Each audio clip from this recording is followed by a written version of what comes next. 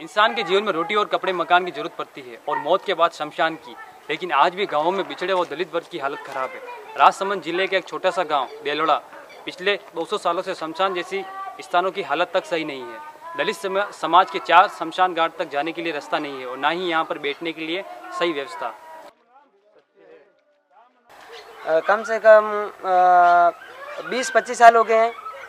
इस रोड को देखते देखते या इधर हमारे कुछ किसी का देहांत हो जाता है तो हम लेके जाते हैं तो इस पानी में का, कांच भी होते हैं, कांटे भी होते हैं तो सारे लोग उसको डेथ बॉडी को ले जाने के लिए दिक्कत होती है।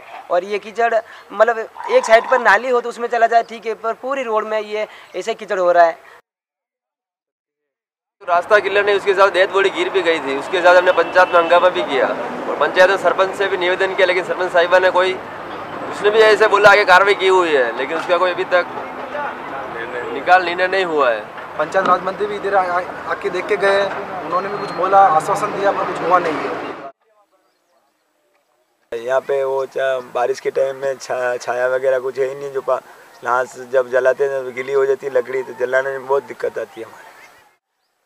शमशान वहाँ आके आपके कोई भी देखेंगे अधिकारी तो ऐसा शमशान है ना ना तो उसको रखने की जगह है वहाँ पे। और आगे क्या है कि रास्ता है नहीं, ना कभी लाइट है, ना वहाँ नहाने धोने की कोई सुविधा है। कोई अंधेरे में आओ, रात की नौ बजे जलाने आओ, गिरते हमें, अंधेरा रहता पूरा। हम गरीब लोग के ऐसा क्यों होता है?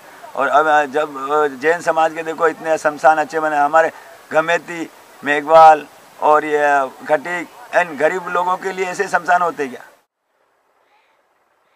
मेरे समुदाय में ये समस्या वर्षों से चली आ रही है और जब किसी समाज में ऐसा मौका आता है तो उन्हें दुखी होना पड़ता है। ऐसे स्थानों का पूरा विकास होना चाहिए। मैं शंभूलाल खटीक, राजस्थान से, इंडिया, अनहट के लिए।